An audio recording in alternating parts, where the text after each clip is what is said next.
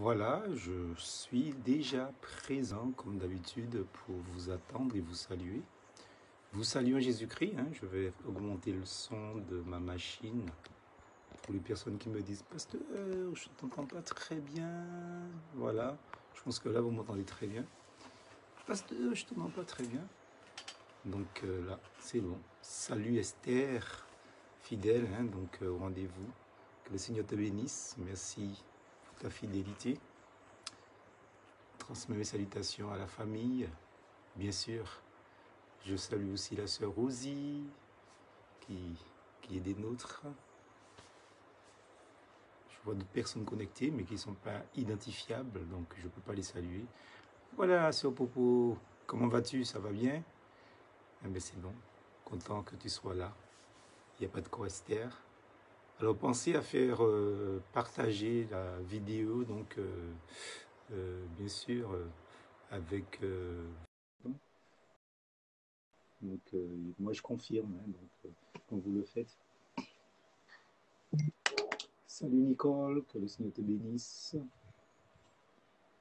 te rétablisse complètement aussi. Donc je salue Serge Luther qui nous regarde Donc, euh, nous sommes dans les salutations. Je rappelle que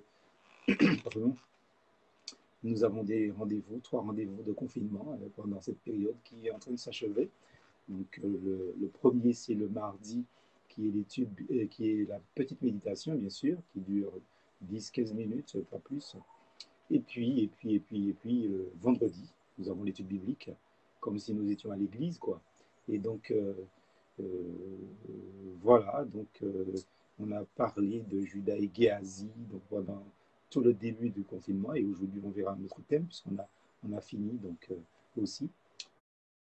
Donc je salue donc entre parenthèses Marie-Madeleine que j'ai eu la joie de voir aujourd'hui. Ça a été un plaisir vraiment aussi donc de te voir. Qu'est-ce que je voulais dire?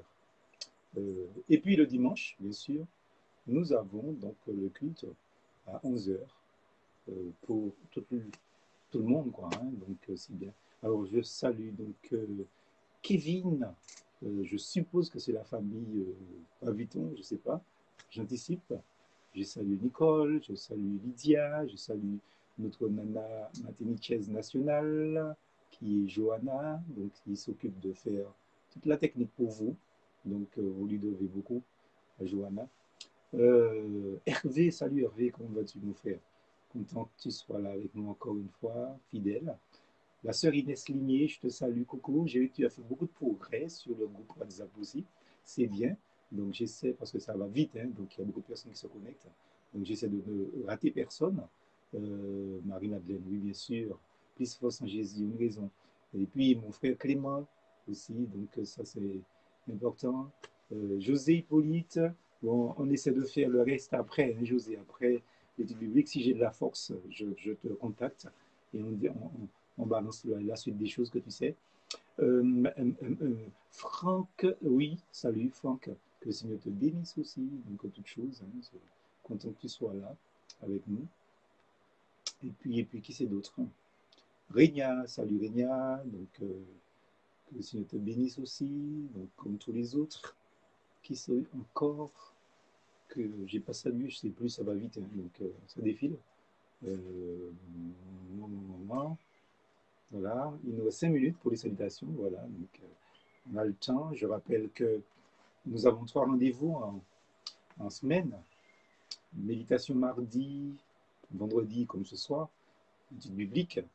Et puis dimanche, on se retrouve pour le message du dimanche, le message dominical, comme nous disons souvent. Et puis, donc, euh, une information, donc, euh, vous savez qu'à partir du 11 mai, il y a le déconfinement, et donc on va peut-être continuer encore dans cette semaine du 11 mai, euh, puisque ce ne sera pas encore, je vais dire, les rassemblements dans leur normalité, dans les salles de culte.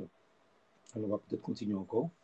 Euh, et peut-être à partir de, début juin, donc on va arrêter euh, ces, ces, euh, ces, projections. Alors je sais qu'il y a, j'ai reçu des questions donc en public et aussi en, en aparté pour savoir si on va continuer ces, projections, ces enregistrements, c'est un peu difficile. mais bon, je vous invite à mettre ça dans la prière, comme personnellement, j'ai déjà commencé à prier aussi pour ça, parce que je veux bien faire de moi-même, hein, donc pas que ça soit un échec. Si c'est le Seigneur qui garantit la chose, ça aura du succès dans la continuité, parce que là, ça a beaucoup de succès, bien sûr. mais, donc, N'oubliez pas que j'ai à charge une église, donc c'est très prenant. Et donc, je ne sais pas si je pourrais euh, assumer, peut-être à la limite, une petite méditation par semaine. Donc, euh, faut prier pour que le Seigneur nous conduise dans tout cela pour savoir ce que nous faisons. Donc, qui d'autre euh, Alors, bien sûr, il y a l'Église évangélique baptiste d'Ajupa-Bouillon qui se connecte. Ça, c'est par le biais de notre technicienne, notre nana nationale, Johanna, qui s'occupe de cela. Donc, je vais déjà saluer en individuel. Mais je salue tous ceux qui se connectent sur le site de l'Église évangélique baptiste d'Ajoupabouillon. Je le fais rarement, donc euh, je leur demande de me pardonner. Je sais que vous êtes nombreux aussi sur le site euh, de l'Église, puisque Johanna fait le transfert de, euh, de la vidéo sur le site, effectivement. Donc, j'ai salué qui d'autre que j'ai pas salué? Ah, Lisette Salut Lisette, comment vas-tu? Comment vas-tu? Comment vas-tu? Content que tu sois là. Souveni, François, mon frère, donc euh, ça, ou Jassa, mon frère. Donc, euh, comme on dit Bénion, donc c'est notre garde. Et puis, et puis, et puis, et puis, qui d'autre, je ne sais plus. Donc, euh, il nous reste deux minutes pour vous saluer. Donc, voilà, hein, je veux dire,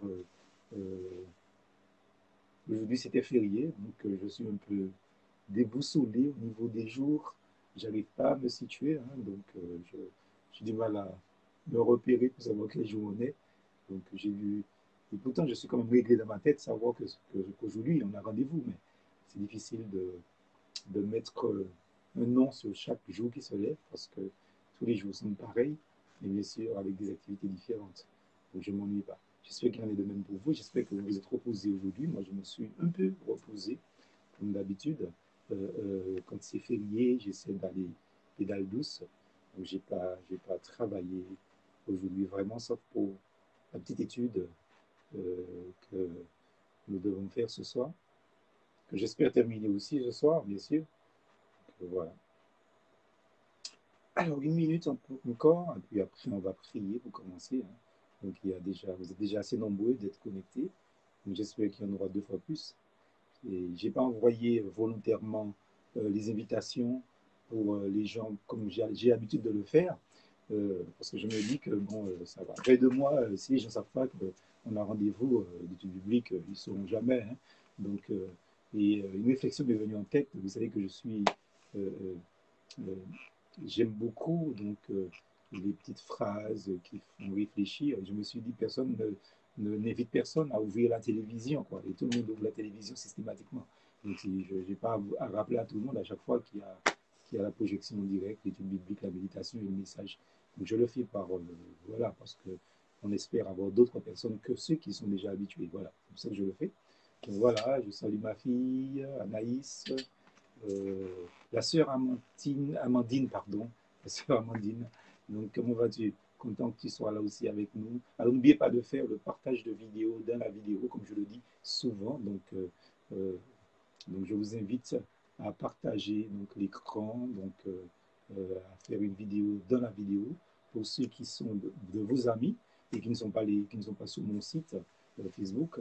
Et puis, euh, n'oubliez pas que chaque message, chaque méditation, chaque étude biblique est euh, projeté en, différé sur, sur notre chaîne YouTube. Et là encore, c'est Johanna qui s'en occupe, bien sûr, donc pour vous. Alors, comme j'ai dit, donc, il est 30, donc je salue tous ceux qui nous rejoignent. Donc, euh, d'une manière générale parce que l'heure est arrivée. On va prier ensemble. Nous te remercions, Seigneur, pour cette journée passée. Merci pour ceux qui ont pu se reposer. Merci pour ceux qui ont dû se rattraper dans des activités euh, domestiques, personnelles ou, professionnelles. Te demandons la réussite pour eux dans ce qu'ils ont fait. S'ils n'ont pas terminé, que tu leur donnes encore, euh, Seigneur, la lucidité pour pouvoir se reposer et continuer après. Maintenant, bénis l'instant présent nous t'adorons dans toute ta grandeur, ta splendeur. Seigneur, tu es magnifique, tu dis dans ta parole, et nous voulons nous incliner devant ce seul Dieu que tu es, que nous adorons. nous savons que tous les idoles sont des, de, la vanité et que tu es le seul Dieu qui existe. C'est pour ça que nous te demandons pardon parce que nous t'avons offensé et nous crions pour que tu nous laves dans le nom de Jésus-Christ. Nous allons prier. Amen. Voilà, amis auditeurs, une fois de plus, hein, je vous le dis et le, vous le redis, euh, bienvenue donc, dans notre moment, euh, évidemment, donc euh, d'études bibliques que nous avons ensemble par le mais ce soir de, de voir un autre thème, parce que nous avons terminé le thème de Judas et de Géasi. Je voudrais donc vous donner l'intitulé que vous avez certainement lu sur le site Facebook, Ne donnez pas accès au diable. Alors, euh, nous sommes déjà dans l'introduction, vous comprenez comme quoi qu'il s'agit là d'un verset qui se trouve dans Éphésiens au chapitre 4, au verset 27, où le Seigneur parle en ce sens, le Seigneur demande de ne pas donner accès au diable. Et je veux vraiment que vous puissiez retenir ce titre, euh, puisque ce titre est la parole de Dieu. C'est un extrait de la lettre de Paul dans Éphésiens 4, verset 27. Alors, la remarque que je voudrais faire par rapport à cela, c'est que l'excellent apôtre Paul, il n'adresse pas cette injonction, ce commandement, à des incrédules, à des personnes incroyantes, à des personnes non régénérées. Mais Paul écrit à des chrétiens, ne donnez pas accès au diable. C'est important que nous puissions souligner cela dès le départ de notre petite étude. Euh, il en quelque part, le fait qu'il en parle aux Éphésiens, parce que quand nous lisons le texte euh, dans son entièreté, hein, donc euh, tout le contenu du livre de Paul aux, Corinthiens, aux Éphésiens, pardon, donc je me reprends aux Éphésiens, on constate que les Éphésiens n'étaient pas des chrétiens légalistes. et apparemment, apparemment, selon les écrits de l'apôtre Paul, nous constatons aussi un autre fait que les Éphésiens n'étaient pas des chrétiens charnels. Alors, si on parle de chrétiens légalistes, on peut se référer à l'épître de Paul aux Galates. Il y avait du légalisme, il y avait des légalistes aussi dans cette église.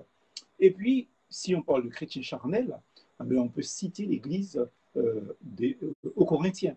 Donc, c'est ni à l'une, ni à l'autre, ni aux chrétiens légalistes, ni aux chrétiens charnel.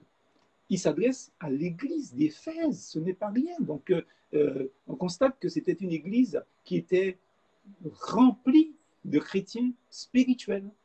C'est une église qui était forte, vraiment une église extraordinaire. Et je crois que tout, pasteur désire avoir une telle église, je vais dire, à charge, quoi. Même ces chrétiens, c'est ce qui est intéressant et qui est quand même grave d'une certaine manière, même ces chrétiens matures, c'est-à-dire spirituels, matures, ce pas des chrétiens parfaits, hein. il faut faire euh, la différence entre des chrétiens matures et, euh, parfaits. Il n'y a pas de chrétiens parfaits, ça n'existe pas. Il y a des chrétiens qui sont matures, qui sont spirituels. Il y a des chrétiens qui sont immatures, qui sont charnels. Et là, on a affaire à des chrétiens matures et même à des chrétiens mûrs dans la foi. Eh bien, l'apôtre Paul nous dit là, et ça c'est vraiment important pour nous, amis auditeurs, euh, que nous devons faire attention à ne pas donner accès au diable, de ne pas donner au diable l'occasion d'agir en nous et parmi nous. Et en nous, ce serait donc, euh, on va voir euh, dans notre quotidien, dans notre vie, etc., etc. Et puis, parmi nous, ce serait dans les familles biologiques et ce serait aussi dans la, la famille spirituelle que constitue l'Église locale. Donc, ne donnez pas accès au diable d'une manière ou d'une autre. Il faut dire une chose, c'est que Satan est toujours, toujours né à l'heure même à laquelle je vous parle, à attaquer les chrétiens du XXIe siècle. Et j'ai l'impression que Satan nous attaque encore plus fort, mais plus subtil et subtilement et astucieusement que nous ne, le voyons même pas euh, très souvent. Alors malheureusement, donc, euh, euh, énormément de chrétiens n'ont pas le discernement spirituel pour pouvoir, je vais dire, déceler les attaques diaboliques, les attaques sataniques. Mais heureusement, béni soit le Seigneur, béni soit le Seigneur, heureusement la parole de Dieu nous apprend comment lui résister. Et je crois que c'est ce qui est très important pour nous et c'est ce que je veux voir avec vous, avec des tout petits sous-points. Euh, je ne vous dis pas le nombre, hein, c'est pour pas que vous soyez découragés, mais nous allons voir comme quoi que Satan, donc, euh, euh, il nous attaque, mais la Bible nous apprend et nous dit comment donc lui résister, d'où le titre de, ce, de cette étude, je vais dire extirper dans la parole de Dieu, ne donnez pas accès au diable, selon Éphésiens chapitre 4, verset 24. Alors, premièrement, le diable, ça c'est le premier point, le diable a été vaincu. Mais, attention, il y a toujours un mais, il est encore actif. Vous faites très attention. Il est vaincu, c'est-à-dire sa défaite est totale. Sa défaite, est définitive. Mais il agit encore. Alors, comme la parole de Dieu nous l'a dit, et on l'a vu dans les semaines précédentes, euh, dans l'étude avec euh, Judas et Géasi, le parallèle qu'on a fait, Jésus a triomphé de Satan. Et dans Colossiens chapitre 2, au verset 15, nous avons cité ce texte plusieurs fois, quatre à cinq fois même. Donc, il nous est dit clairement que Jésus-Christ, il, Jésus-Christ, a dépouillé les dominations et les autorités et il les a livrées en spectacle en triomphant d'elles par la croix. Donc la croix est le symbole de la victoire, euh, comme quoi que Christ a vaincu Satan. Et évidemment, bien sûr, nous n'irons pas apporter une croix autour de notre cou, et encore moins avec un crucifix dessus, un homme dessus. Ça n'a pas de sens pour nous en tant qu'évangéliques. Mais la croix est le symbole de la victoire de Jésus-Christ. Satan est définitivement vaincu au nom de Jésus, par Jésus-Christ, et je veux dire par la puissance de Jésus-Christ. C'est pour ça que nous avons la victoire donc sur cet ennemi-là. Donc, par sa mort, par la mort de Jésus-Christ, Christ a rendu impuissant celui qui avait la puissance de la mort, c'est-à-dire le diable. C'est ce que nous dit l'auteur de l'épître aux Hébreux, au chapitre 2, au verset 14. Il nous dit Ainsi donc, puisque les enfants participent au sang et à la chair, c'est-à-dire nous-mêmes, justement, il y a également Christ participé lui-même, afin que par la mort, il rende impuissant celui qui avait la puissance de la mort, c'est-à-dire le diable. Donc, à un certain moment, c'est le diable qui avait la puissance de la mort, mais par la croix, c'est Christ maintenant qui a vaincu non seulement Satan, mais qui a vaincu la mort. Donc, euh, pour qu'on puisse comprendre comme quoi, là, je veux dire, l'immensité, l'intensité, je vais dire, euh, de la victoire de Jésus-Christ sur Satan. Donc, Satan, en fait, on va dire ça comme ça, il est comme un animal qui est grièvement à mort, blessé à mort. Et puis il s'agite et il essaie en fait de se venger avant de mourir. Et c'est ce qui se passe là. Donc il, est déjà vaincu, il est déjà par terre. Jésus-Christ l'a mis par terre, justement. Et euh, comme il sait qu'il est déjà par terre, qu'il est déjà vaincu, ben, il essaie de se venger sur la race humaine que Dieu aime et pour euh, laquelle Dieu a donné son Fils unique parce que dit Jean que Dieu a tant aimé le monde, justement, qu'il a donné son Fils unique. Jésus-Christ en parle, c'est Jésus-Christ dit ça, bien sûr, les gens nous rapportent ces, ces paroles, bien sûr. Donc, ce qui équivaut à dire qu'il ne nous faut pas douter de la défaite de Satan, comme l'apôtre Paul l'écrivait aux Romains, au chapitre 16, au verset 20. Il dit, le Dieu de paix brisera Satan sous vos pieds. Et ça, c'est important. Et c'est pour ça que je dis que nous devons être convaincus et ne, pas avoir de doute par rapport donc euh, à la victoire de Jésus-Christ. Et il ne faut surtout, surtout pas oublier que la victoire appartient à Jésus-Christ seul. Ce n'est pas nous qui avons porté la victoire sur Satan, c'est Christ qui a remporté la victoire. C'est pour ça qu'il c'est au nom de Jésus-Christ qu'il nous faut aller pour résister, qu'il nous faut résister à Satan, mais ne pas aller avec des prétentions, de toute manière, on va parler de l'orgueil tout à l'heure, des prétentions où, les gens, ils, parlent à Satan comme si c'est eux qui étaient en fait l'auteur de la victoire sur Satan. Et vous savez comme quoi que comme Satan, il, est, vaincu, mais qu'il a une certaine puissance quand même euh, dans son action, mais évidemment, évidemment, ce qui se passe, c'est que Satan, euh, euh, des fois, il écrase ces personnes. Il faut faire très attention. Il faut toujours avoir en tête que si nous allons, c'est au nom de Jésus, couvert par le sang de Jésus-Christ, parce que la victoire appartient à Jésus-Christ, à lui tout seul, et à personne, personne, personne d'autre. Donc, en attendant, ce qui se passe, c'est que cet ennemi vaincu, cette bête blessée, justement, il reste encore un adversaire tenace. il ne faut pas l'oublier. Euh, l'apôtre Pierre est bien placé pour nous en parler dans sa première épître, au chapitre 5, 8. Il dit Soyez sobres, soyez sobres, veillez. il nous invite à veiller, soyez sobres, veillez. C'est-à-dire, euh, euh, ne vous montrez pas trop, ne vous faites pas voir, ne prenez pas de prétention. Quelque chose de sobre, c'est quelque chose qui est, je vais dire, simple, naturel, qui n'a pas de bruit, qui n'est pas, c'est pas le cliquant, etc. Et l'apôtre Paul nous dit, soyez, l'apôtre Pierre, pardon, nous dit, soyez sobre, veillez votre adversaire. Vous voyez bien, c'est votre adversaire, c'est mon adversaire, c'est ton adversaire, c'est notre adversaire, c'est l'adversaire de Dieu, le diable. Comme le monde est l'adversaire de Dieu, un ennemi de Dieu. Vous voyez, un ennemi, c'est un adversaire. Et le diable, c'est notre ennemi. C'est pour ça qu'il ne nous faut pas donner de l'accès à notre ennemi. Et l'apôtre Pierre dit, votre adversaire, il le définit, il le singularise, il l'identifie en disant, votre adversaire, le diable, il rôde, il rôde autour de nous, n'est-ce pas?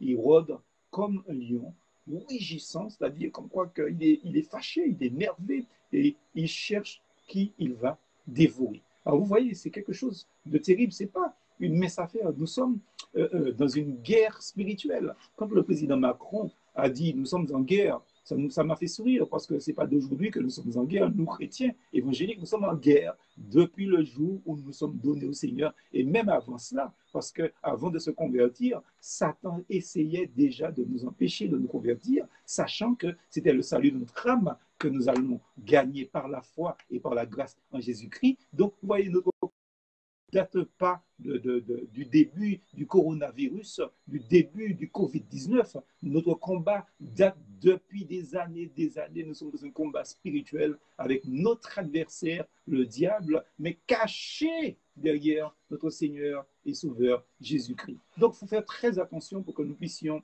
bien comprendre ça que nous sommes dans une guerre, mais c'est une grosse guerre, n'est-ce pas? Et alors, ce que je voudrais vous dire, pour terminer ce premier point, sachez que c'est une bête blessée, il est par terre, mais il, essaie de se venger et d'attirer les, personnes avec lui en enfer, hein, parce que, comme je le dis souvent, euh, l'enfer, dit la Bible, euh, c'est un endroit qui a été préparé pour Satan et pour ses anges. C'est-à-dire, ses anges, c'est-à-dire tous les anges qui l'ont suivi dans la révolte, accompagnés avec tous les hommes et les femmes, bien sûr, de l'humanité, qui empêcheraient, non, qui hésiteraient ou qui refuseront plutôt de se convertir à Jésus-Christ par la foi pour recevoir le salut par la grâce. Donc, il y a trois catégories. Il y a Satan, il y a les démons et il y a les hommes qui vont rejeter la grâce de Dieu. L'enfer a été préparé pour ces individus-là. Et il faut enlever ce cliché ou ces clichés que nous avons en tête comme quoi que Satan est le maître dans l'enfer, il fait ce qu'il veut, il se promène, il, fait souffrir les gens. Mais non, Satan souffre dans l'enfer aussi. Il faut comprendre ça. Il faut arrêter de donner à Satan la valeur qu'il n'a pas. Il n'a pas cette valeur-là, il n'a pas cette puissance-là, il n'a pas ces capacités-là. Il, souffre, il souffrira en enfer comme les hommes qui l'ont suivi, qui ont rejeté Jésus-Christ, et il souffrira en enfer aussi comme les anges aussi, qui l'ont aussi suivi depuis sa révolte dans les cieux. Donc, comprenez une chose, et ça c'est important ce que je veux dire, c'est que Satan ne peut pas agir par force sur un enfant de Dieu qui lui résiste. Ça, c'est, ça, je veux que ça rentre dans vos têtes, amis auditeurs. Satan ne peut pas agir sur un enfant de Dieu qui lui résiste. Et ça, c'est pas moi qui l'affirme, c'est pas la parole du pasteur Edjam, c'est la Bible qui le dit. Et comme nous croyons en ce que la Bible dit, nous n'avons pas d'autre je veux dire, issu que de croire ce que la parole de Dieu nous dit. Jacques chapitre 4 au verset 7 nous dit, soumettez-vous donc à Dieu et résistez au diable. Vous voyez? Et il fuira loin de vous. Il fuira loin de vous. C'est-à-dire qu'il n'a pas la capacité d'agir par force sur un enfant, sur un racheté qui lui résiste. Et les gens qui me disent, vous voyez, c'est pour ça que je vous dis qu'il faut croire à la parole de Dieu, bien aimés frères et sœurs. Il faut croire à mes auditeurs. Parce que les gens, quand les gens me disent que oui, euh, euh, c'est la puissance du diable qui me fait faire ceci, la puissance du diable ne vous fait faire rien faire. C'est vous, par vice, qui faites ce que vous faites. Arrêtez de donner à Satan de la valeur. Si vous vous soumettez à Dieu, mais c'est ce qu'il dit, hein, si vous vous soumettez à Dieu et que vous résistez au diable, Satan fuit Satan n'a pas la capacité d'agir avec force sur vous. Satan n'a pas la capacité de faire une pression sur vous. Si vous faites quelque chose, vous le faites de vous-même. Satan ne met pas une chaîne autour de votre cou et vous dire, bon, euh, euh, allez faire ceci, allez tuer, allez voler, allez mentir, allez ceci, allez cela. Non, c'est que vous le voulez bien, n'est-ce pas? Et si vous le faites, demandez pardon au Seigneur, mais ne mettez pas votre, ne transférez pas, je veux dire, votre euh, culpabilité sur Satan, il va agir, certes, par suggestion, bien sûr, pour nous tenter, mais Satan ne vous dit pas, donc euh, il ne vous pousse pas, donc il ne vous force pas à faire le mal que vous faites. Vous faites le mal de vous-même. Les hommes, moi, vous, nous faisons, nous péchons parce que nous avons décidé de pécher. Mais si nous nous soumettons à Dieu, la parole de Dieu nous dit clairement, il fuira, il fuira loin de vous. Alors, bien sûr, il agit avec ruse. Il nous observe, il scrute, il espère que nous lui ouvrirons nous-mêmes les portes de notre cœur. Et c'est là justement qu'on doit être vigilant. Alors, quelles sont ces portes? Et là, nous allons passer au deuxième petit point. Quelles sont ces portes qui pourraient nous exposer aux attaques du diable? Deuxième point. Alors, la première porte, c'est la confiance excessive en soi. Ami auditeur, si un endroit où je constate de plus en plus que des personnes pêchent, euh, c'est dans, ce domaine-là. Et quand je dis pêche, c'est-à-dire qu'on est fautif en fait, hein, c'est ce que je veux dire. Hein. Donc, euh, c'est dans ce domaine-là. On a tellement confiance. D'ailleurs, remarquez une chose, quand la parole de Dieu est prêchée, généralement, on ne, on ne l'apprend pas pour nous. On se dit, ouais, euh, si un tel et tel là, il était taille, il était mais c'est terrible. Parce qu'on est tellement sûr qu'on est bien. On est tellement sûr qu'on est spirituellement debout. On est tellement sûr qu'on est moralement debout que Dieu nous parle, mais on fait un transfert de la parole de Dieu sur X ou Y, alors que c'est à nous que Dieu parle. Et c'est ça la confiance excessive en soi. Quand la parole est prêchée, frères et sœurs, moi quand j'entends la parole de Dieu prêchée, vous savez, j'écoute des messages très souvent, hein, contrairement à ce que les gens pensent, n'est-ce pas? Donc, euh, le soir, j'écoute des, des, messages euh, d'une radio canadienne qui, je trouve, qui, trouve, qui, poste des messages intéressants. Donc, euh, mais je prends la parole pour moi avant tout. Quand j'ouvre ma Bible, je ne lis pas ma Bible en disant, mais si un tel théorie ça, si une telle personne avait vu ça, je, je dis, mais c'est à moi que Dieu parle. Vous comprenez ça, mes auditeurs? Et on a un cas dans la parole de Dieu c'est l'apôtre Pierre. C'est pour ça que tout à l'heure, précédemment, j'ai dit qu'il était bien placé pour dire que le diable, il rôde, n'est-ce pas, comme un lion rougissant. Eh bien, Pierre était quelqu'un qui était rempli d'affection, n'est-ce pas? Il était quelqu'un de chic, de sympathique et de bonne volonté aussi envers son maître. Alors, je ne crois pas qu'il existe un chrétien qui n'a pas d'affection pour Jésus-Christ. Et je ne crois pas non plus qu'il y ait un chrétien digne de ce nom qui qui pas de la bonne volonté vis-à-vis -vis de Jésus-Christ. Nous tous, nous, aimons notre Seigneur, nous l'adorons, nous le bénissons, nous l'élèverons, euh, euh, tant qu'il le faut jusqu'à ce qu'il euh, nous appelle ou qu'il revienne. Et puis nous avons une bonne volonté envers lui, c'est-à-dire que nous voulons le servir, n'est-ce pas? Comme Pierre. Mais qu'est-ce qui se passe? Dans cette confiance excessive qu'il a en lui, un jour, eh bien, il donne une réponse remarquable à une question du Seigneur Jésus et à cette réponse, Christ va lui dire, Simon, fils de Jonas, tu es heureux. Tu, mais quel, c'est extraordinaire. C'est-à-dire, c'est comme si le Seigneur lui disait, c'est dans Matthieu 16, verset 17, c'est comme si le Seigneur lui disait, mais Simon, 20 sur 20, tu mérites 20 sur 20. Cette réponse-là, génial. Tu as le diplôme, c'est extraordinaire. Et si les bonnes réponses pouvaient euh, envoyer quelqu'un au ciel, eh bien, il serait envoyé au ciel le jour même aussi, n'est-ce pas? Mais qu'est-ce qui s'est passé? Vous voyez, c'est-à-dire, à partir du moment que Christ l'a félicité, eh bien, ses chevilles ont commencé à se gonfler. Comme on dit en créole, l'estomac a commencé à bomber.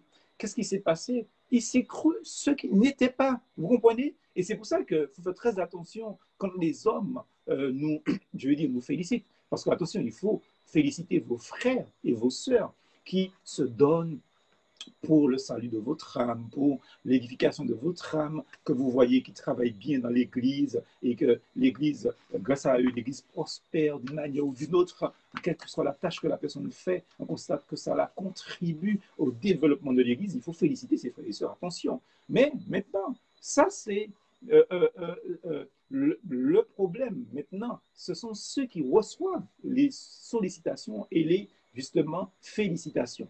C'est à eux de savoir comment ils doivent interpréter ces choses. C'est-à-dire que quand moi, on me fait une félicitation, mais je l'accueille, je, suis content, qu'on constate que je j'aide au bien de l'humanité, à mon prochain, etc. Mais je sais une chose, toute la gloire est à Dieu seul. C'est parce que Dieu est avec moi que je peux faire ce que je fais. Vous comprenez? C'est pas parce que j'ai fait des études de théologie, je suis intelligent, je suis cela, je suis ceci. Non, non, non, non, non, non, non. Il faut enlever ça de notre tête, amis auditeurs. Faut enlever ça de votre tête, frères et sœurs. C'est grâce à Dieu que nous faisons ce que nous faisons. Tout est grâce. Et l'apôtre Paul, son problème là, c'est que quand Christ lui a dit, mais Simon, 20 sur 20, tu es heureux, tu es heureux, eh bien, peu après, qu'est-ce qui s'est passé? Jésus est dans l'obligation de l'interpeller de, de, manière choquante, très très choquante, surprenante, même dans Matthieu 16 au verset 23, juste après, Jésus va lui dire, arrière de moi, Satan, tu es un piège pour moi. Tes paroles ne sont pas les paroles de Dieu, mais tes paroles sont les paroles des hommes, c'est-à-dire de l'orgueil. Il faut faire très attention. Alors, pourquoi est-ce que, et ça c'est intéressant dans cette, dans, dans cette histoire, pourquoi est-ce que Jésus-Christ quand il s'adresse à Pierre, il parle à Satan? Simplement parce qu'il ne parle pas à Pierre en réalité. C'est parce que Satan a déjà pris le contrôle de la situation, justement, sur Pierre parce qu'il rôde comme lion rugissant et il veut s'emparer de toutes les situations, il veut s'emparer des rênes de notre vie, il veut s'emparer de nos paroles, il veut s'emparer de nos, de, nos pensées, de nous suggérer des choses, il veut nous, s'emparer de nos activités, il veut s'emparer de notre vie en totalité, vous comprenez? Et malheureusement, beaucoup de personnes donnent accès au diable. C'est comme je disais au début, là, tout à l'heure, n'est-ce pas? Je disais, vous avez certainement remarqué que je n'ai pas envoyé de flyer pour les gens. Je n'ai pas euh, euh, envoyé donc non plus ce flyer ni hier, ni avant-hier, ni ce matin. Je l'ai envoyé au dernier moment, à la dernière euh, minute de l'heure où on devait commencer. Vous vous rendez compte de cela? Sur Facebook seulement. Alors, pourquoi est-ce que je fais ça? Parce que je pars de principe. Je me dis, il y a deux mois déjà que nous faisons cela. Si les chrétiens qui sont justement des authentiques enfants de Dieu ne sont pas conscients, ne se rappellent pas que nous avons rendez-vous le mardi, le vendredi et le dimanche, eh bien, je ne peux plus rien faire pour vous. Et si jamais je vous envoie cela dans l'avenir, ce n'est pas seulement pour vous, ce n'est pas pour vous particulièrement, c'est pour que vous puissiez faire distribuer la chose, c'est pour que vous puissiez partager et faire profiter les autres. Parce que pour moi, si vous êtes un enfant de Dieu, vous n'avez pas, je n'ai pas à vous rappeler que, voilà, chaque mardi soir, il faut qu'on se rencontre sur Internet, chaque vendredi soir, il faut qu'on se rencontre sur Internet, chaque dimanche, il faut qu'on se rencontre sur Internet pendant le confinement. Parce que, pourquoi je, je réagis comme ça? Parce que personne ne vous dit qu'il faut ouvrir la télé, vous ouvrez la télé. Vous m'avez compris? Vous ouvrez la télé. Je n'ai pas à vous envoyer un flyer pour vous dire il y a telle émission, il y a telle série, il y a tel film, il y a tel match de football ou d'handball, je ne sais pas quoi, euh, ben, de basket, etc. Ou bien qu'au sur la, la télé. Je ne vous dis pas ça. Ou ça, il faut aller là. Ou pas ça, vous comprenez que nous rendez-vous bon Dieu à son Internet. Hein. Non, non, mais arrêtez. Vous comprenez? Donc, il faut faire très attention. Donc, et quand vous ne vous euh, donnez pas une règle de conduite, vous donnez accès au diable, amis auditeurs, vous donnez accès au diable, frères et sœurs. Et je rappelle, comme je le disais au début, ce n'est pas des chrétiens charnels de Corinthe, ce n'est pas des chrétiens légalistes de Galate, c'est des chrétiens spirituels aux Éphésiens que l'apôtre Paul parle. Alors si vous pensez que vous êtes des chrétiens spirituels, conduisez-vous comme des chrétiens spirituels. Ne soyez pas des chrétiens bouettes. Vous savez, c'est quoi? Je beaucoup en ce moment près de chez moi, parce que tout ce que je ne pouvais pas faire autrement à cause de mon ministère, je profite pour le faire pendant le confinement. C'est pour ça que je dis que je ne m'ennuie pas, justement, pendant, pendant cette période. Eh bien, euh, ben je, mets, je mets du béton dans, ma bouette, mais si je ne pousse pas la bouette, eh ben, ça ne va nulle part. Et il y a des chrétiens bouettes, il faut que vous les poussiez, il faut les pousser tout le temps. Si vous ne si les poussez pas, ça reste exactement à la même place. Eh ben, n'attendez pas sur moi pour vous pousser. Vous comprenez? C'est vous qui devez vous tenir debout et marcher, parce que c'est une demande de marcher. Il ne demande pas aux gens de nous faire marcher, il demande de marcher nous-mêmes. Et quand on refuse justement de, de régler sa conduite Jésus-Christ, on donne accès au diable. Parce qu'on a tellement confiance, on pense comme quoi qu'on peut ceci. Le Seigneur dit à Satan, mais arrière de moi. Alors Dieu, Jésus-Christ, voit, il ne voit pas Pierre, mais il voit Satan qui agit au travers de Pierre. Et c'est ce qui est intéressant. Nous, en tant qu'enfants de Dieu, nous devons avoir ce discernement-là. Parce qu'on peut se poser la question, mais pourquoi tout d'un coup appeler Pierre Satan? Parce qu'il a parlé comme Satan aurait parlé. Et il y a des chrétiens qui, des fois, parlent comme Satan parle. Ils, veulent arrêter l'œuvre de Dieu. Ils parlent comme. Pierre a dit, ou du moins, Satan a dit au travers de la bouche de Pierre Tu n'iras pas à la croix.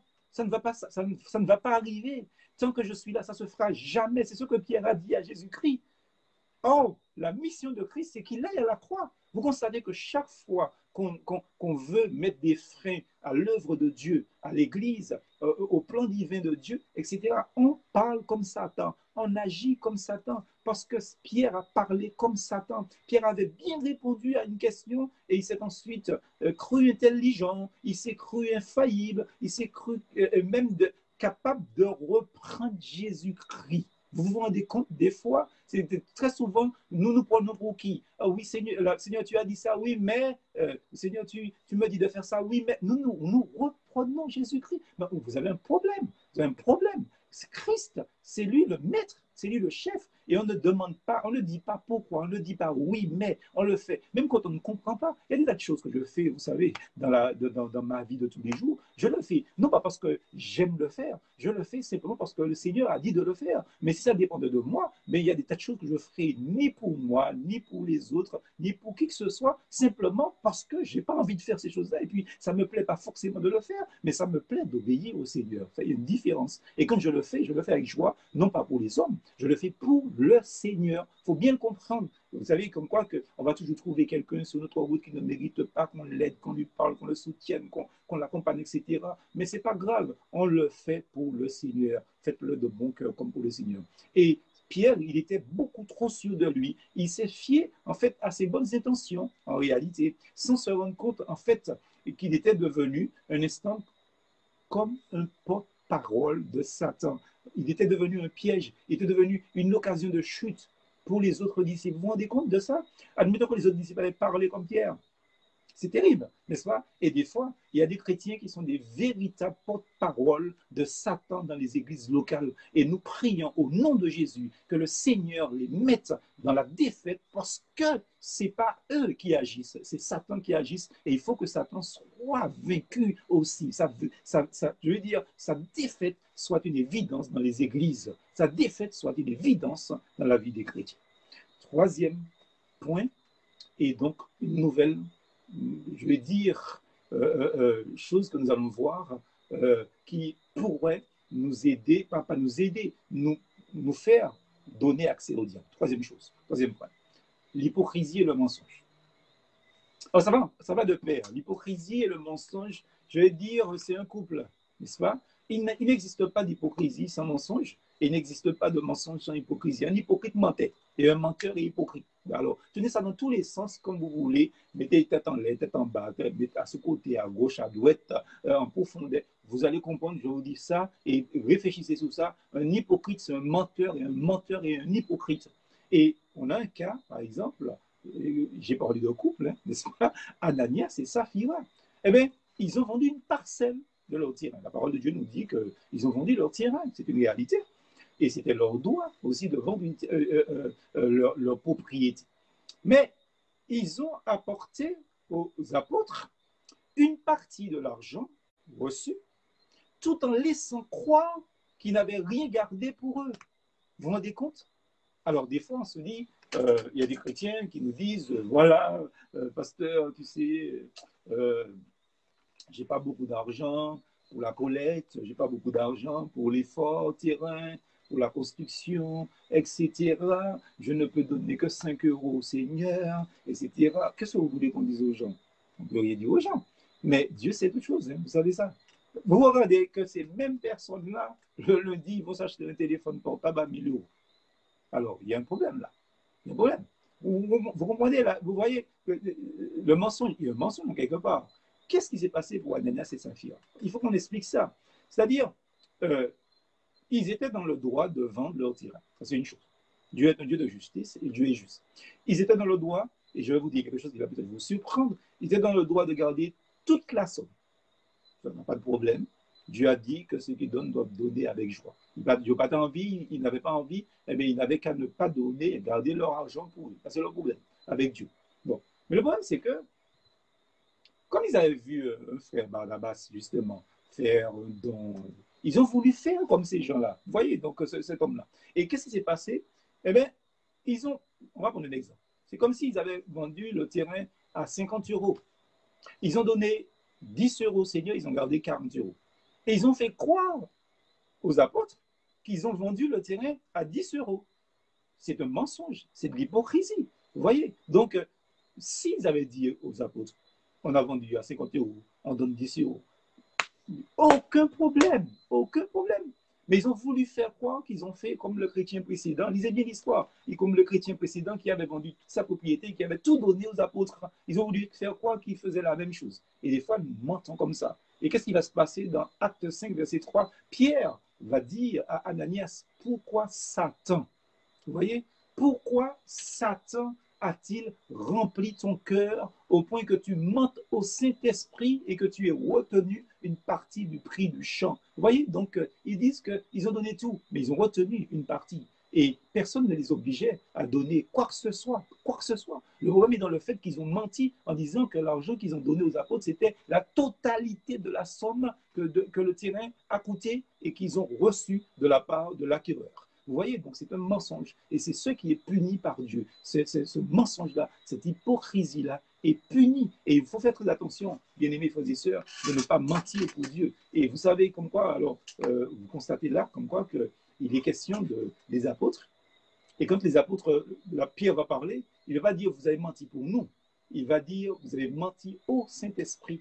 Vous voyez comment c'est important l'homme de Dieu Parce qu'il y a des gens qui prennent ça à la légère. Il faut faire très attention. Donc, la, la, soi-disant générosité d'Ananias et de Saphira eh n'était pas sincère. C'était un mensonge, c'était de l'hypocrisie. Ils ont voulu impressionner les autres croyants par un geste spectaculaire. On a tout, on a vendu, on donne tout l'argent. Eh le mensonge et leur mensonge, pardon, et leur hypocrisie ont donné une place à Satan dans leur cœur. Ils ont donné accès au diable aussi. Et Satan n'a pas eu à forcer la porte euh, de leur cœur. Ils l'ont ouverte eux-mêmes. Je veux que vous compreniez ça, frères et sœurs. C'est nous qui donnons accès au diable. Et c'est pour ça que la Bible dit ne donnez pas accès au diable. Sinon, il aurait dit ne laissez pas au diable vous forcer. Il dit, ne donnez pas accès au diable. Mais attention, il faut faire attention aussi à ce texte-là, j'ai entendu beaucoup de messages beaucoup de personnes, j'ai lu beaucoup de livres où les gens disent Ananias et Saphira étaient possédés. Ils ne sont pas possédés, attention. Ils ont donné accès au diable. Pierre interpelle Ananias et non un esprit mauvais. Regardez bien, hein. il parle à Ananias, il parle à Saphira, mais il ne parle pas à un esprit mauvais, il ne parle pas à un démon. Donc, ils ne sont pas possédés, mais ce sont des chrétiens charnels qui ont donné accès au diable à cause de l'amour de l'argent, à cause du mensonge et de l'hypocrisie que Dieu nous aide dans notre attitude dans les églises. Quatrième point, le refus de pardon. Le refus de pardonner. Ça aussi, c'est donner accès au diable. Donc, euh, l'apôtre Paul a écrit aux Corinthiens au sujet d'un homme qui avait euh, gravement péché, selon ce que nous lisons dans la parole, au point qu'une discipline sévère avait dû lui être appliquée. Cet homme s'était ensuite vraiment repenti, nous dit la Bible. Alors Paul il donne son sentiment sur euh, ce cas dans 2 Corinthiens chapitre 2, verset 8, verset 9, verset 10, verset 11. Je, je, je, je, fais un petit mélange de ce texte où l'apôtre Paul, il va dire, je vous exhorte donc à faire acte de charité, d'amour envers lui. À qui vous pardonnez, je pardonne aussi, afin de ne pas laisser à Satan l'avantage sur nous, car nous n'ignorons pas ses desseins. Vous voyez, c'est dans 2 Corinthiens 2, chapitre, 2 Corinthiens chapitre 2, verset 8 à 11. Donc, il dit comme quoi que à qui vous pardonnez, nous pardonnons. Parce que si nous ne pardonnons pas, eh bien, si nous donnons, nous laissons à Satan l'avantage sur nous, parce que nous n'ignorons pas ses desseins. Donc, il faut qu'on fasse très attention aussi là. Donc, si les chrétiens euh, corinthiens, si les Corinthiens manquent d'amour et refusent de pardonner à celui qui s'est repenti, eh bien, cela donne à Satan une position de force dans l'Église. Il pourra prendre l'avantage, dit l'apôtre Paul, sur nous. C'est pour ça que dans les couples, il faut pardonner. Dans les familles, il faut pardonner. Dans les églises, il faut pardonner. Alors, comment eh bien, Dans cette affaire, comment Satan il, aurait pu prendre, euh, euh, je veux dire, l'avantage sur les Corinthiens? Eh bien, Dans cette affaire, il pourra facilement amener cet homme, par exemple, qui ne pardonne pas, à l'amertume, pardon, donc, et au découragement aussi, euh, et celui qui n'est pas pardonné, dans l'amertume, il, serait, il, aigri aussi. Et puis, ça aurait provoqué une crise dans l'Église, une division dans l'Église. Donc, vous voyez, c'est important que nous puissions pardonner dans l'Église. Et les personnes qui ne pardonnent pas dans l'Église sont des agents sataniques. Ça veut dire, ça veut dire que Satan agit par eux dans l'Église. Et il, vous savez, il y a des personnes qui sont tellement lourdes, ils sont tellement lourds, ils sont tellement, je vais dire, des empêcheurs de faire fonctionner l'Église normalement que parfois même leur présence devient un problème. Donc c'est pour ça que je dis aux gens que si vous ne vous sentez pas bien dans une église, allez dans une autre église. Mais n'empêchez pas une église de se développer. Donc il euh, faut faire très attention à cela. Donc euh, si vous ne savez pas pardonner, demandez au Seigneur la force pour qu'il donne, vous donne cette force-là pour pardonner. Et je crois que le Seigneur, sait le faire, puisque nous avons reçu la main de Dieu dans notre cœur par le Saint-Esprit qui nous a été donné. Cinquième point. Un autre cas, c'est la colère non maîtrisée. Dans Éphésiens, je ne vais pas rester sur ce texte, vous le connaissez, Éphésiens chapitre 4, versets 26 à 30, la parole de Dieu nous dit que si vous vous mettez en colère, ne péchez point, que le soleil ne se couche point sous votre colère, et ne donnez pas accès au diable. N'éteignez pas le Saint-Esprit de Dieu. Donc, c'est ce qui est dit dans ce petit récit. Donc, la colère, là encore, c'est une porte ouverte, c'est un accès au diable. Vous comprenez? La colère, donc, dit l'auteur de l'Épître aux Hébreux, n'accomplit pas la justice de Dieu. Donc, la colère attriste le Saint-Esprit, la colère empêche le Saint-Esprit d'agir dans le chrétien, et il est évident que celui-ci parle et agit alors sans le contrôle du Saint-Esprit quand il est en colère. Quand on est en colère, on dit, des choses qu'on regrette après d'ailleurs. Hein. C'est pourquoi on dit, mais euh, je regrette ce que j'ai dit. Mais très souvent, le problème, c'est que Paola a dit, bien dit, donc euh, que Dieu nous aide à maintenir notre langue en bride, mais surtout que nous puissions prier pour que le Seigneur nous aide à, ne pas nous mettre en colère, donc euh, pour ne pas dire des choses hors contrôle, je veux dire. Satan, donc, en ce sens, il peut alors facilement intervenir et inciter le chrétien à des paroles, à des gestes désastreux euh, qui vont causer beaucoup de mal, non seulement aux autres, mais aussi à lui. Donc euh, la colère est un moyen d'accès pour le diable aussi, et il faut prier pour que le Seigneur nous garde de, de ces colères. Alors il y a des gens qui parlent, qui disent qu'il y a des gens qui ont des mauvais, mauvaises colères. Euh, toute colère est mauvaise, frères et sœurs. Il n'y a pas de bonne colère. La seule colère qui est juste, bonne, pure, c'est la colère de Dieu et la colère de Jésus-Christ. Mais la colère des hommes est nécessairement mauvaise, mauvaise, mauvaise. Alors faisons très attention. Donc, sixième chose, c'est, je regarde l'heure, oui, on est, on est dans les temps. Euh, sixième chose, c'est l'orgueil. Euh, et puis le mauvais témoignage aussi. Donc, il euh, faire très attention à ça, l'orgueil.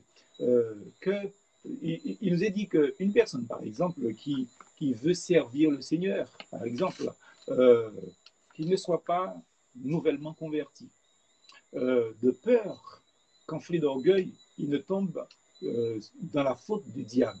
Et vous savez, la faute du diable, c'est l'orgueil. Et c'est un tort que dans certaines églises, euh, dès qu'une personne se convertisse, on veut lui donner la parole, on veut lui donner la prédication, la chair. dès qu'une personne arrive, on veut lui donner à faire ceci, à faire cela. Très souvent, donc, je pense qu'on ne fait pas du bien aux personnes, mais on ne fait pas du bien aux églises. Et je fais un appel justement à tous les chrétiens pour que nous puissions laisser le Seigneur diriger son Église euh, locale comme il le veut. Ce n'est pas à vous de placer des gens dans les églises pour que les gens fassent ceci ou que les gens fassent cela. C'est Dieu seul qui, dans sa sagesse, a mis des responsables là pour prier, pour jeûner, qui a mis des groupes de prière là, qui prient et qui jeûnent justement pour pour donner la sagesse aux responsables de l'Église. Et quand je dis aux responsables, je pense aux responsables au pluriel, aux responsables pour pouvoir placer les gens à des postes clés pour que l'Église soit équilibrée. Mais ce n'est pas à vous de le faire. Ce n'est pas à vous de faire des suggestions de ceci ou de cela. Vous n'êtes pas le Saint-Esprit. Restez à votre place. Ça, c'est important hein, que nous puissions dire ce que nous disons là, justement, parce qu'on a l'impression comme quoi que ben, nous connaissons, nous voyons, nous avons le discernement, nous savons qui est capable, ou pas ça va y Seul, seul le Saint-Esprit sait toute chose. D'accord? Donc, il faut qu'on fasse très attention. Au lieu de vouloir donner conseil, je l'ai dit tout à l'heure au début de ce message, de vouloir, donner des conseils aux autres, appliquons ces conseils à nous-mêmes d'abord, justement, parce qu'on est sous la terre, non pas pour les autres, mais pour plaire à Dieu nous-mêmes de manière personnelle. Donc, il faut faire très attention, c'est un commandement du Seigneur dans 1 Timothée chapitre 3, versets 6 et 7. Il faut aussi qu'il ait un bon témoignage de ceux du dehors. Vous voyez, là aussi, on, fait, du tort aux églises comme ça. Euh, on met des gens derrière les chairs, derrière, quand je dis les chairs, je pense des pupitres, hein, bien sûr, derrière la chair, des gens qui ont un mauvais témoignage. Moi, j'ai eu un gros problème comme ça dans une église. Des gens, euh, un homme qui, avait un mauvais témoignage en dehors, je lui, ai demandé, je le dis là publiquement, je lui ai demandé d'arrêter de prêcher. Même si les gens sont contre moi pour ça, je ne peux pas laisser quelqu'un qui n'a pas un bon témoignage de ceux du dehors, c'est-à-dire des incroyants, des incroyants, n'est-ce pas? Capital. Hein. Il faut qu'il ait un bon témoignage de du dehors. 1 Timothée chapitre 3, verset 6. Vous voyez, c'est biblique. Et il est dit afin qu'il ne tombe pas dans l'opprobre ou dans le piège du diable. Donc, euh, vous ne pouvez pas mettre quelqu'un qui a un mauvais témoignage, justement, euh, euh, devant ceux du dehors, dans une église. Parce que quand vous le faites, vous décrédibilisez l'église si vous invitez ces mêmes personnes qui sont des incroyants, justement, à venir écouter la parole de Dieu et qui voient ces hommes-là derrière la chair, vous croyez qu'ils vont revenir dans l'église? Ils vont mettre tout le monde dans le même sac, ils vont dire que le pasteur est comme ça, les frères et sœurs de l'église sont comme ça, etc. Non, pas caribini, là encore, parce qu'il y a qui mauvais monde qu'il a. Vous comprenez ça? Il faut qu'on respecte la parole de Dieu. Ce n'est pas à nous de placer des gens. Laissons le Seigneur faire les choses et diriger son église comme il veut bien le diriger par les gens qu'il a choisis. Parce que s'il voulait le faire par vous, il vous aurait aussi choisi. Laissez Dieu travailler. Faites le vôtre et laissez Dieu faire ce qu'il a à faire, gérer son Église. Donc ça, c'est important euh, euh, euh, aussi à dire parce que ça, c'est de l'orgueil. Parce qu'on pense qu'on peut, on pense qu'on est, on pense qu'on sait, on pense qu'on peut, etc. Et il faut faire très, très attention. La parole de Dieu nous dit que très souvent, ce sont des choses qui arrivent chez les jeunes convertis, hein, parce que je crois que si une personne est tout récemment convertie, si une personne est choisie pour être à la tête de l'Église, eh bien, son manque d'expérience, euh, joint à, cette responsabilité, risque de lui euh, monter à la tête. Il va se prendre pour une vedette, pour une star, pour ceci, pour cela. Or, dans l'Église, il n'y a pas de vedette. Dans l'Église, il n'y a pas de star. Seul Jésus-Christ est, la star des stars, euh, vedette de vedette aussi, et il faut comprendre ça. Donc, et puis, si le, le croyant a une mauvaise réputation, euh, même les non-chrétiens, donc, qui le connaissent, vont contester son autorité. les gens ne vont pas croire à ce qu'il dit, même si ce qu'il dit, c'est la vérité, mais ils ne vont pas adhérer à ce qu'il dit, parce que les gens adhèrent à ce que nous disons dans la mesure qu'ils voient que nous conformons notre témoignage à ce que nous disons. Il faut bien comprendre ça. Donc là, il risque d'avoir une réaction charnelle et destructive, euh, pardon, euh, d'orgueil blessé, il faut faire très attention à ça. Donc, septième chose, des comportements et des paroles désordonnées. Là aussi, c'est important. 1 Timothée 5, verset 11 et verset 15 aussi. Même on dira 1 Timothée 5, verset 11 à 15 quand même. Il est dit, lorsque la volupté le détache de Christ, non seulement elles sont oisives, mais encore causeuses et intrigantes. Je veux donc que les jeunes veuves ne donnent aucune occasion à l'adversaire à cause de mauvais propos, car déjà quelques-unes se sont détournées après Satan. Vous voyez donc euh, des comportements et des paroles désordonnées. Donc, euh, faites attention. Se laisser aller à la recherche du plaisir, de, à l'oisiveté, au commérage, au, comment on dit, hein, n'est-ce pas, en créole, au milan, n'est-ce pas, euh, aux, commentaires et aux ingérences non justifiées, eh bien, c'est semer de la discorde. Il y a des chrétiens qui parlent, qui parlent, qui parlent, qui parlent, ils n'arrêtent pas de parler. Et ça, c'est agir dans le même sens que le diable. Parce que c'est le diable qui, justement, est dans la dans l'oisiveté, dans les commérages, les mensonges, etc. Et il faut faire attention à cela. Donc, euh, je pense que ça aussi, c'est donner accès au diable. Un chrétien doit peu parler et, toujours bien écouter, n'est-ce pas? C'est quelque chose de, je crois, de capital pour chacun d'entre nous aussi. Donc, huitième point, qui sera notre avant-dernier point, l'amour de l'argent. Bon, je crois qu'on en a parlé beaucoup, beaucoup dans la série Géasi et Judas, mais je vais quand même dire, euh, rappeler quelque chose. Là, dans Jean 12, au verset 6, il est dit que Judas était un voleur. Judas était un voleur. Et dans Luc chapitre 22, au verset 3, il est dit que Satan entra dans Judas, surnommé Iscariote, qui était du nombre des douze. N'est-ce pas? Donc, vous voyez, l'amour de l'argent, c'est un accès au diable aussi. C'est un accès, c'est un chemin qu'on ouvre pour le diable. Et je crois que Jésus a certainement choisi Judas comme disciple pour de, bonnes raisons. Mais le, fait de garder la bourse, euh, cette bourse qu'il y avait, qui était une bourse commune hein, aux disciples, à Jésus-Christ et aux femmes aussi qui étaient avec eux, euh, le fait de garder la bourse a éveillé en Judas cet amour de, l'argent qui était en, en lui-même, en fait. Et il a commencé à en détourner une partie à son profit. C'est pour ça que, frères et sœurs, si on vous confie certaines tâches dans l'Église et vous constatez que c'est un problème pour vous, ne le faites pas. Ne le faites pas. Si vous avez des problèmes avec l'argent et qu'on vous, vous confie des postes à responsabilité financière, refusez, refusez, parce que il est évident que les gens ne connaissent pas vos faiblesses, donc ils peuvent vous proposer quelque chose, mais vous vous connaissez. Donc, euh, ne, je vais dire, ne donnez pas accès au diable, mais j'allais plus dire aussi, euh, ne nous mettons pas face à la tentation, justement, en pensant comme quoi qu'on pourra s'en sortir à chaque fois. D'accord? Vous faites attention. Donc, euh, je pense qu'il faut faire très attention en se laissant aller peu à peu donc, à la cupidité. Eh bien, Judas, il a ouvert une porte à Satan. Et là, il s'agit, il s'agit vraiment de possession, parce qu'il faut bien comprendre qu'il est dit que Judas est entré dans le cœur de, pardon, Satan. Pardon. Satan est entré dans le cœur de Judas, et non Judas est entré dans le cœur de Satan. Satan est entré dans le cœur de Judas. Eh bien, il faut bien comprendre que pendant que les disciples marchaient avec Jésus-Christ, ils n'étaient pas encore convertis. Et à partir du moment qu'une personne n'est pas encore convertie, Satan peut, le posséder, peut la posséder. Satan peut posséder une personne qui n'a pas le Saint-Esprit. Donc, et Judas n'avait pas le Saint-Esprit. Il faut faire très attention. Et, je m'appuie sur le texte où Jésus-Christ dit à Pierre, par exemple, quand tu seras revenu, c'est-à-dire littéralement en grec, quand tu seras repenti, donc euh, euh, prends soin de tes frères. Ça veut dire que Pierre, il a renié Jésus aussi. Vous voyez, donc, euh, mais c'est après qu'il s'est converti, qu'il s'est donné au Seigneur, comme ce fut le cas pour les onze autres apôtres, à l'exception de Judas, hélas. Donc, c'est pour ça qu'il y a des personnes qui voient, qui lisent ce texte que nous avons cité donc, euh, dans Luc chapitre 22, verset 3, que Satan est entré dans Judas, eh bien, il pense qu'un chrétien peut être possédé. Non, on dit non, un chrétien peut être embêté, un chrétien peut être lié, mais pas possédé. Donc, il faut bien comme ça. Donc, Satan est rentré dans son cœur parce qu'il n'était pas encore au Seigneur. Enfin, dernier point, avant la conclusion, qui ne sera pas longue aussi. Donc, euh, les disputes de mots. Neuvièmement, les disputes de mots. Euh, ce sont des discours vains et profanes, nous dit l'apôtre Paul. Donc, euh, il en parle hein, dans 2 Timothée, chapitre 2, verset 16, euh, verset 25 et verset 26 aussi. Il parle donc des disputes de mots. Il dit évite les discours vains et profanes, car ceux qui les tiennent avanceront toujours dans l'impiété.